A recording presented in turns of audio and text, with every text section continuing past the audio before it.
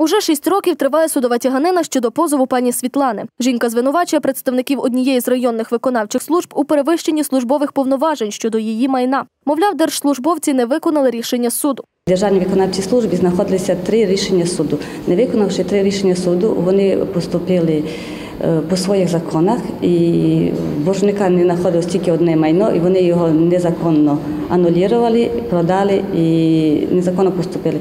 Тому в зв'язку з тим відкрита кримінальна справа. За час судової тяганини Мукачівський міськрайонний суд визнав винними причетних. Позаяк останні не визнають свою провину, то останнім часом обидві сторони обмінюються апеляційними скаргами.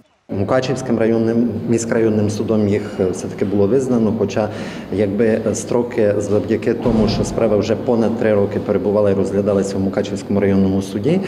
е, Ну визнано винними. е, Відповідно накладено е, було і штрафні санкції на них, але оскільки ну не погодилися з таким рішенням, е, тому вони подали апеляцію. Відповідно, потерпіла Шпер теж подала апеляцію Але найбільше сторону потерпілої обурює, що владою зловживають ті, хто би мав відстоювати інтереси держави та правосуддя. Боляче, що саме державні чиновники, які є на службі у держави, вчиняли порушення, зловживання.